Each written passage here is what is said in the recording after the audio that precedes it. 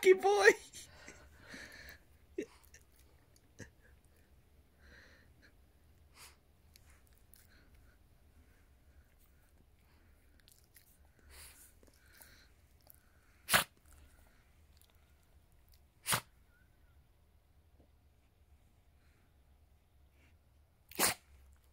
Do you want a treat, Crumpet?